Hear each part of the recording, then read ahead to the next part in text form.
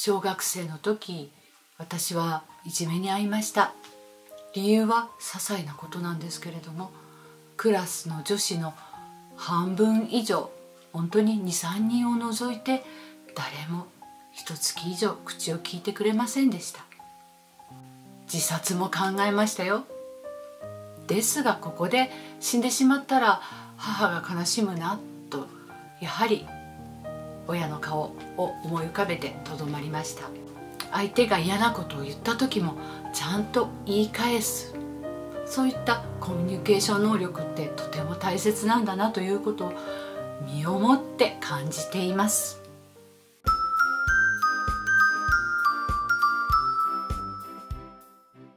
こんにちは。音楽でお子様を育てるオンライン音楽教育科の滝沢由美です。桜の花も満開になってなんだかウキウキしちゃう素敵な春が訪れましたね。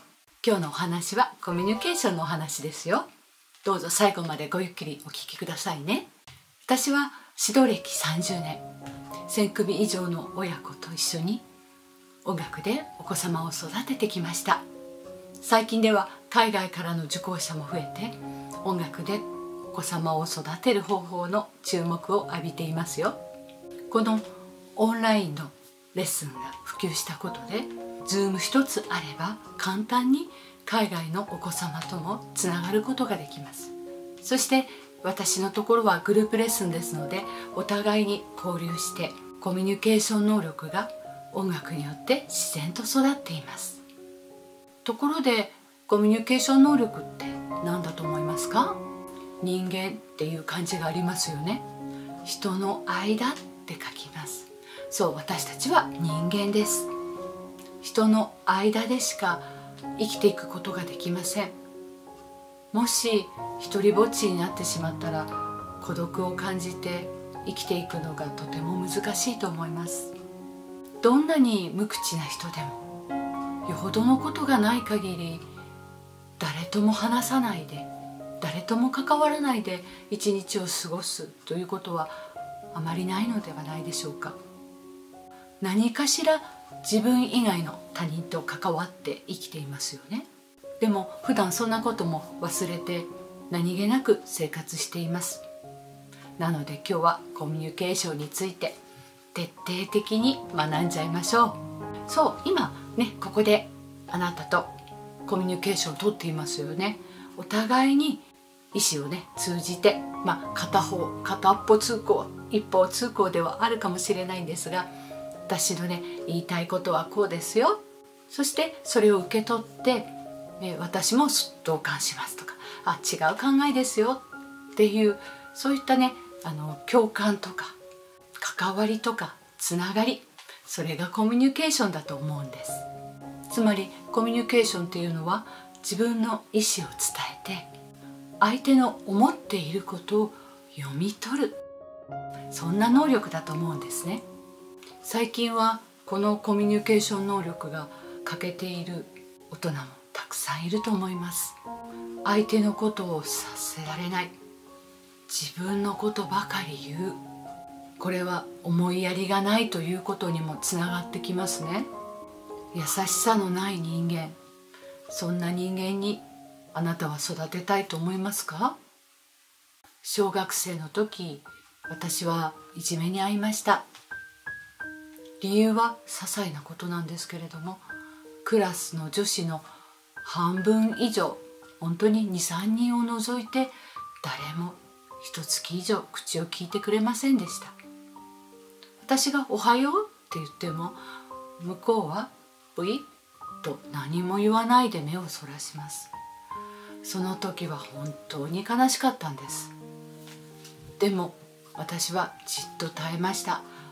自殺も考えましたよ。ですがここで死んでしまったら母が悲しむなとやはり親の顔を思い浮かべてとどまりました。そしてどうせなら正々堂々と戦おうというふうに思い学年末の作文でこれこれこういうふうないじめにあってそしてこんなことが起こりましたということを作文にて先生に訴えました。担任の先生はとてもいい先生だったのでその時に、えー、すぐに授業をやめてこのことについてみんなで話し合いをしてくれました。そして、えー、クラスの女子のほとんどが「ごめんね」と謝ってくれてこれは一件落着だったんです。まあこんな経験があるので相手の気持ちとか思いやりとか相手が嫌なことを言った時もちゃんと言い返す。そういったコミュニケーション能力ってとても大切なんだなということを身をもって感じています。コミュニケーション能力は人間が社会生活を営む上で大切なスキルだと思います。そして小さい時から人と関わっていく中で培われていきますね。では小さい時からのコミュニケーション能力はどのように育てたらいいと思いますか？まずはやっぱり母親です。母親といつもいる時間が長いので母親とのコミュニケーションからまず信頼関係というものを育てます。ここが大切なコミュニケーション能力の基盤となります。まあ母親の視点に立って言うと何気なくお子さんを育てているけれども一つの人格を育てるというとても大切な事業って言ったら変ですけれども大切な仕事をしていると思います。もうこんなお母さん方に私は拍手をしちゃいますよ。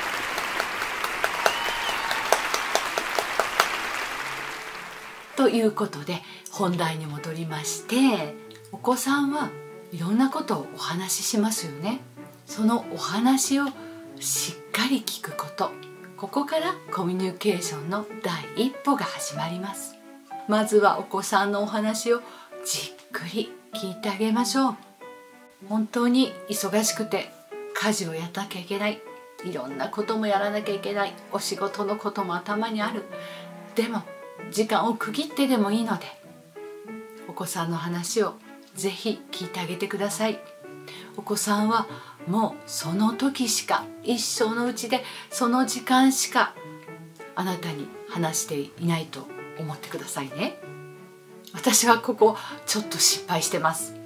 やっぱり3人の子とっても育てるのは大変でした。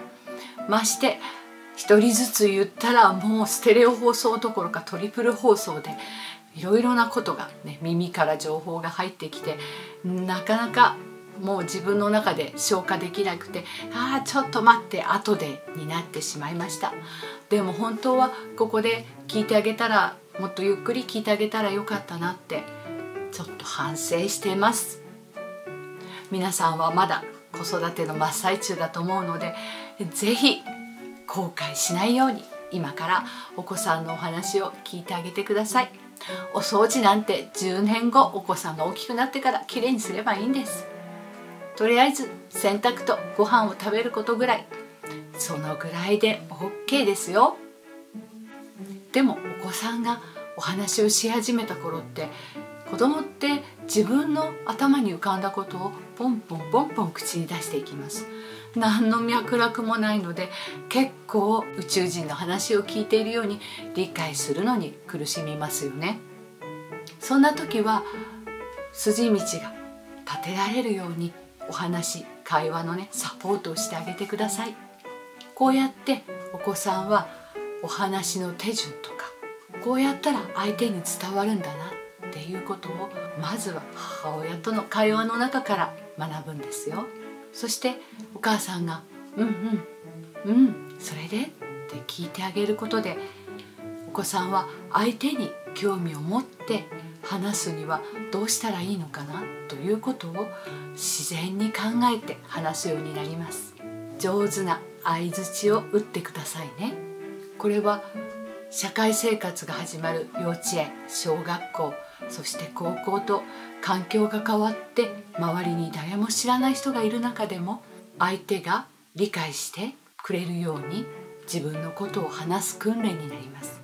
ずっと使えるスキルなので是非幼児のうちに身につけちゃいましょう。そしてコミュニケーションは楽しんだということをこの時期のお子さんに思ってもらうこととても大切です。やはり人間楽しいこと以外はしない動物だと思いますよ。それには社交性を身につける必要があります。グループの中にいてそれだけで社交性が育ちます。おとなしい子っていますよね。じっと見てるだけの子。自分から関わってはいないように見えるんですがでも実はじっと見てその場の雰囲気を感じて自分はどういうふうに関わろうかなって考えてると思います。それが他のお子さんよりも遅いだけで他のお子さんは例えばすぐに「ねえねえなんていう名前なの？僕の名前はね」とかすぐに言葉がね出てくるけれどもこのじーっとタイプの引っ込み思案って一見思われるようなお子様はどういうふうに関わろうかなどんな言葉をかけようかなと心の中で準備しています。だから無理強いはせずにずっと見守ってあげてください。引っ込み思案だと思っても大丈夫。お子さんはちゃんとその場にいてコミュニケーションをとっていますよ。ここでコミュニケーションに有効的な方法をご紹介しましょう。このように引っ込み思案のお子さんでも言葉に出さなくてもいい方法があります。はいそれは音楽です。音楽っていうのは人間の感情に訴えるものですね。時には嬉しいって感じたり音楽を聴いて悲しくなったり感情にとても共感というものを呼びます。こんなことからも音楽というものでコミュニケーション能力を育てるということはとっても有効なんです。それではどんなところで音楽のコミュニケーションが育つかっていうとリトミックとかね本当にお子さんにはとてもいいと思います。他のお子さんを見て動かない子ママのお膝に乗っかっているだけの子でもその場でその子なりのコミュニケーションを楽しんでいますよ。そして、えー、私のところのレッスンはグループレッスンです。このグループレッスンの中で音で会話をします。それはもう全世界のこと。その場でその場を共有して共感して感じ取ってもうそれだけで素敵なコミュニケーションだと思いませんか？音のキャッチボールができた子どもたちの顔は本当にキラキラと輝いています。私はこのキラキラと輝いた顔と楽しいと感じている顔この顔を失うことなくお子様のコミュニケーション能力を育てています。こんなレッスンにねご興味ある方は是非概要欄ルルオンライン子ども音楽教室のホームページを訪問してみてくださいね。さあ今日のまとめです。コミュニケーションは人間が社会生活を営む上で大変重要なスキルです。音楽でお子様の心と体を育成する。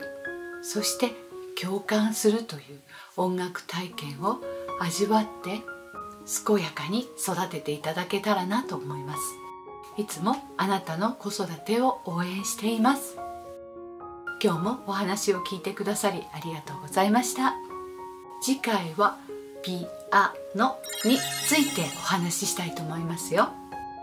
来週の日曜日またお楽しみに。